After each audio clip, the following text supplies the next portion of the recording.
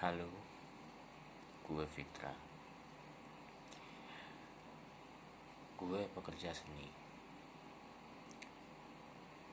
Sudah tiga bulan lebih semenjak COVID ini menjadi wabah di Indonesia.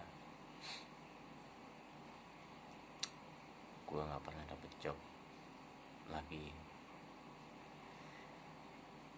buat manggung, buat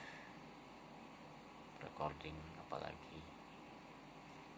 Bahkan sebelumnya gue punya studio. Yang akhirnya satu persatu barang-barang atau alat-alat gue harus gue jual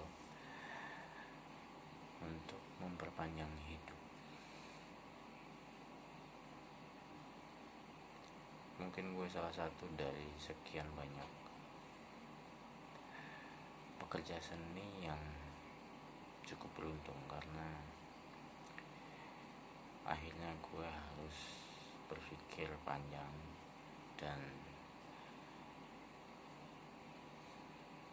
gue buka warung kopi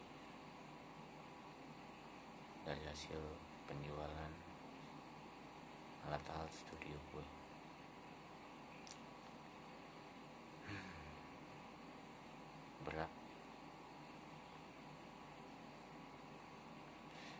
apalagi sampai hari ini belum ada kepastian kapan kita atau gue sebagai pekerja seni bisa mulai lagi